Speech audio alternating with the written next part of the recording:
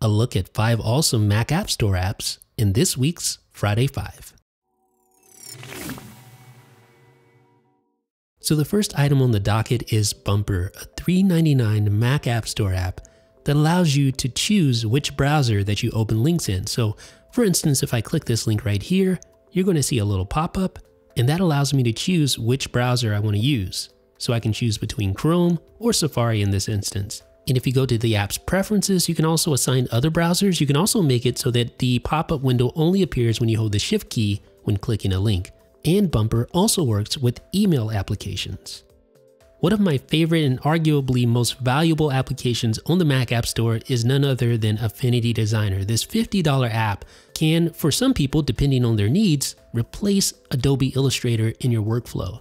So not only is that super valuable from, from a monetary standpoint, but it also is completely optimized for the Mac. So you get things like full screen support, true, true full screen support, and you can export to a wide variety of formats, including Photoshop, PSD, including SVG, and others. Hands down, this is one of the best vector design tools on the Mac App Store, and I highly recommend it. I'm actually going to go ahead and export this clock right now in a Photoshop format. Now I'm going to use Motion, which is a $50 app. It's a motion graphics app from Apple, very much similar to Final Cut Pro as far as its look and feel, but obviously a lot different. So you can import a Photoshop file with all of its layers intact so I'm going to do that right now. This is the clock that we just made in Affinity Designer. So I can go in, hone in on a specific layer, zoom in, and then move the anchor point for the minute hand to the desired location so that I can animate the minute hand and create an animation to export back into Final Cut Pro.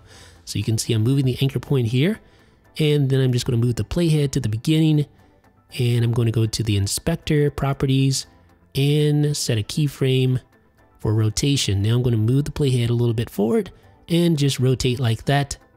And there we go.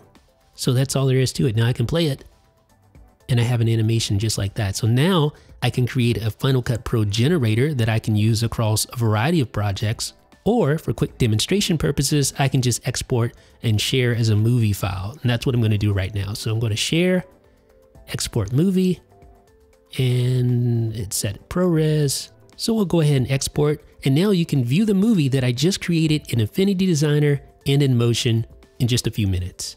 Ulysses is an app that we've covered before on Friday 5, but it was for the iOS version. The Mac App Store version is just as good. In fact, it's the one that started it all. Ulysses is one of the best plain text editing apps on the Mac. It supports Markdown.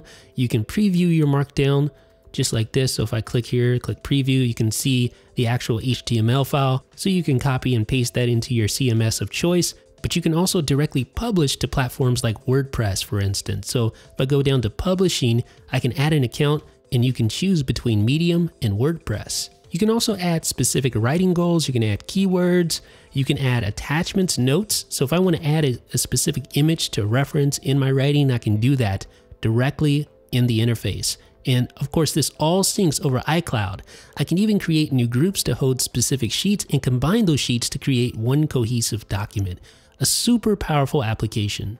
Now our final app is Pastebot, a $9.99 copy and paste app for the Mac. This is a really cool app. It has tons of features, but I'm going to just point out one particular feature that I like, and that is sequential paste.